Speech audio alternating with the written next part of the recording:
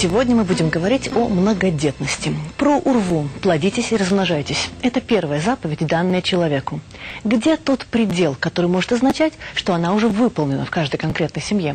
Какое количество детей может считаться идеальным? Как обеспечить все нужды подрастающих отпрысков? Как сочетать родительскую функцию с карьерным ростом? Да и возможно ли такое сочетание? Каково отношение еврейского закона к так называемому планированию семьи и контрацепции? Что ждет еврейский народ в недалеком будущем, если рождаемость в его среде не повысится? Вот те вопросы, которые мы будем обсуждать сегодня, и, надеюсь, ответы найдутся. Ну а начнем мы, как обычно, с попытки выяснить, как относятся к многодетности наши соотечественники. Первая заповедь, которая прозвучала на нашей земле, была такой «Пру урву» – «Плодитесь и размножайтесь». Надо сказать, заповедь приятная в исполнении, а посему, казалось бы, люди не должны были отказываться. И тем не менее, проблемы с деторождением начались уже на заре человечества. Еще Адам и Хава сомневались в целесообразности продолжения рода. Об этом же задумывались и их потомки. Английский экономист Томас Мальтус, например, породил знаменитую теорию о неспособности Земли прокормить все возрастающее человечество и в связи с этим требовал сокращения рождаемости. Евреи всегда придерживались обратного принципа. Они следовали указанию «плодитесь и размножайтесь» безо всякой задней мысли. А в ответ на мальтовские рассуждения о голоде, якобы ожидающем размножившуюся человеческую популяцию, изрекали древнюю еврейскую поговорку, что ребенок всегда рождается с куском хлеба в руке. Сегодня, правда, и на еврейскую улицу просочились идеи Мальтуса. Послушаем, что думают о многодетности современные израильтяне. Нет такого понятия «идеальное число». Каждый решает в соответствии со своими ощущениями.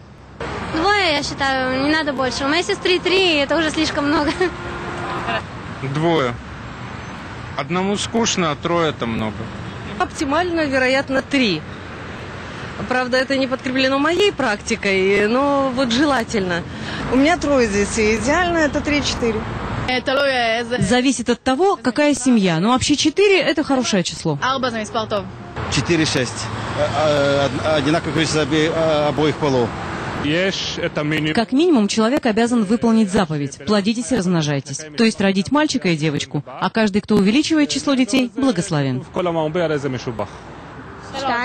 Двое, трое, а я бы сказала пятеро.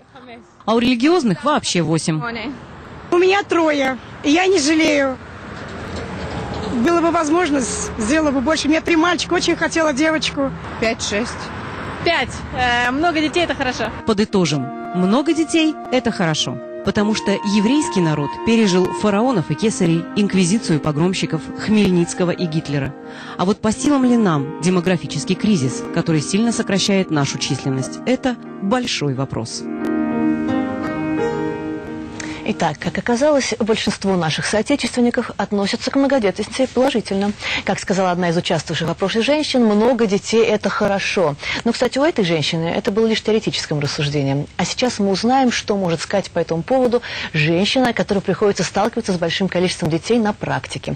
Знакомьтесь, мать восьмерых сыновей, педагог по специальности, у нее две степени по педагогике, женщина, которая занимается общественной деятельностью, Элла Гоцель.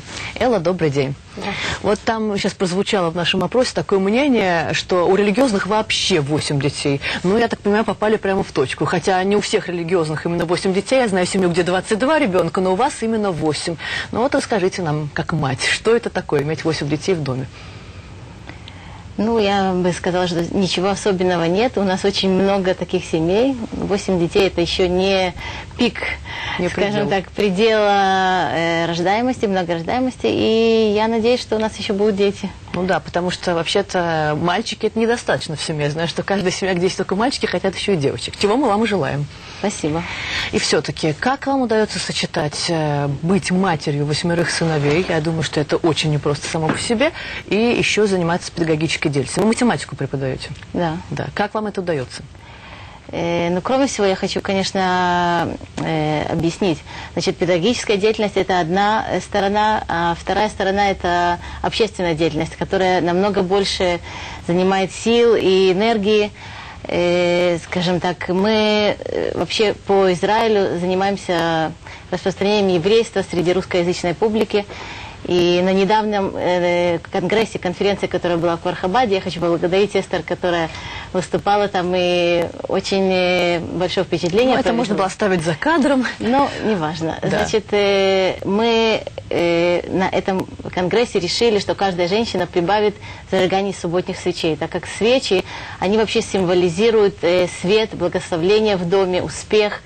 И дети это тоже наш успех, это наше благо. Рождаются дети ради счастья. То есть всех детей мы рождаем в счастье, они э, счастливы, что у них много братьев, они друг другу дают это тепло. И тепло распространяется по всему дому. То есть дети мне помогают, они являются частью нашей деятельности, как и общественной, так и педагогической. То есть я занимаюсь э, с девочками, преподаю математику в старших классах. Но э, что я хотела по поводу вот зажигания свечей, которое мы хотим действительно провести такую акцию 26 февраля. Это день перед Пуримом, как раз праздник Пурим у нас выходит в Муцей Шаббат. И шаббат перед Пуримом в пятницу мы хотим провести эту акцию, добавить в еврейских домах больше света, зажечь чем больше свечей. И поэтому я хочу попросить, чтобы наши телез- телез- телезрительницы Зрительницы. помогли нам и, может быть, тоже добавили, если они сами не зажигают, а зажечь девочки и, мам, и мамы. И бабушки. И бабушки. Все зажигают субботние свечи, прибавляют в свой дом много счастья, много света, любви и согласия. И если вы хотите, то сообщите нам об этих результатах, сколько света вы добавили, сколько свечей конкретно вы прибавили. Мы сейчас на экране телефона. покажем номер телефона, который Элла сейчас назовет вслух. Пожалуйста, если хотите, запишите и сообщите о своих достижениях. Элла, я так понимаю, готова принимать Да. ваши звонки. Мы готовы принять звонки и подсчитать, и потом, если Эстер разрешит, даже можно в эфире Опубликовать, сколько опубликовать. света появилось в нашей стране благодаря этой акции. Да. Да, Какой номер? значит, 077 211 7701. Этот номер телефона. Можно звонить в любое время. Звоните, пожалуйста. У меня вопрос по нашей теме. У меня у самой шесть детей, и я знаю, как это непросто. Маме, работающей, воспитывать детей в доме. Да и на самом деле, с материальной точки зрения, особенно в эпоху кризиса, ну, все справляются, я знаю. Все-таки вы учитель математики, вам, наверное, э, будет понятно, что у меня шестеро, у вас восемь, это больше, это, наверное, сложнее. Как дать ребенку все необходимое, чтобы он получил не только материальные какие-то вещи, ну, не знаю, кружки, образование. Э, Сталкивались вы с этим, и как вы справляетесь? Э, Да, дело в том, что действительно наши дети э, максимально заняты, кроме того, что они, рабо- они учатся, у них э, учеба это, скажем так, работа с 8 до 4, очень строго, старшие даже до 5 учатся. После этого у них 4 раза в день спорт. они Четыре раза в занимаются- неделю? Э, Четыре раза в неделю, извиняюсь, да. Спорт. Они занимаются э, спо- э, спортом, всевозможные кружки, у них есть музыка. Мой муж э, преподает гитару, он э, обучает детей. Они занимаются в э, хоре, школьном хоре при э, школе Тальмутура. А какого возраста дети? От и до. Значит, старшему 13 лет, бармицва. Вот он э, как раз два месяца назад отметил свою бармицву, а младшему год. Я знаю, последний мой вопрос, я немножко вмешиваюсь в личную жизнь. Я слышала, что у вас в семье было чудо, что некоторое время назад вашему мужу врачи сказали, что больше детей у вас не будет никогда. И тем не менее, они продолжают рождаться. Ну вот видите, наверное, благословление в наш дом, оно как вошло, так и не хочет выходить. Слава Богу, у нас действительно был такой момент, когда муж проходил очень э, серьезное э, лечение, химиотерапию.